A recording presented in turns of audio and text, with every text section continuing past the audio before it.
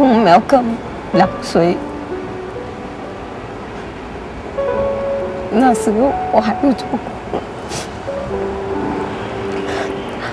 他他妈妈跑了，我们都不知道他在真的要跑，哈，爸爸有讲过他不要他，不要 Malcolm，可是我真的不舍得他。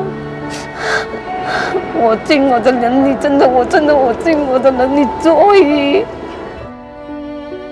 Help came to Madam Yip when she found out about MINDS, the movement for the intellectually disabled Jurong Garden School.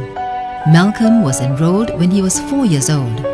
Since then, Madam Yip noticed that Malcolm can express himself better and perform simple tasks independently. 他其实不会讲话，只是用手指咯。then doctor 以为他有聋跟哑啦。他来了 my school，他的